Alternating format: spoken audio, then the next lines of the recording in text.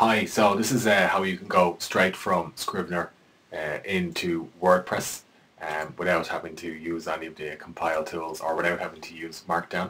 So what you have to do is you um, format your file in Scrivener so it looks exactly the way you want. So I formatted this as a heading, I formatted this as a subheading, um, I've spaced all my text exactly the way I want it to appear in WordPress. I have a list here um, and I have something bold in bold here. I have something in italics here.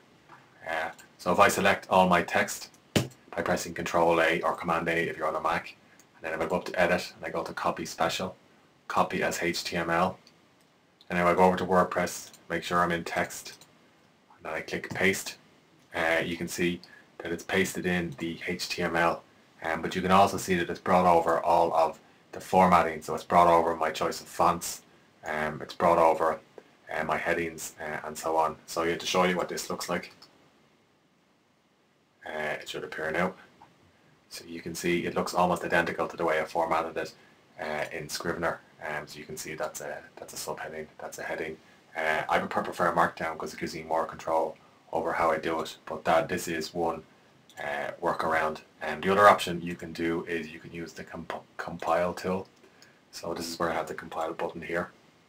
Um, you can select uh, your file and you can compile it as a Word document um, or HTML file and then click compile. So if I compile this as a Word document on my desktop um,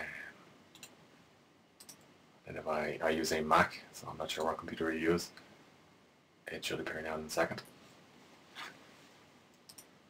So then if I open the file in Pages, that's the Mac equivalent of Word, you can see here that it's formatted as pretty much identical to the way it appears in Scrivener. Um, so if you don't want to deal with any of that HTML, you could then copy and paste that text uh, into the visual editor of WordPress and it should keep the pretty much most of the formatting. You may have to do some tidy ups um, on the lists or so on. Um, so I hope that helps, but I suppose I, I would recommend that take, take the few minutes that it takes to learn Markdown, which I show in the YouTube video uh, on my post.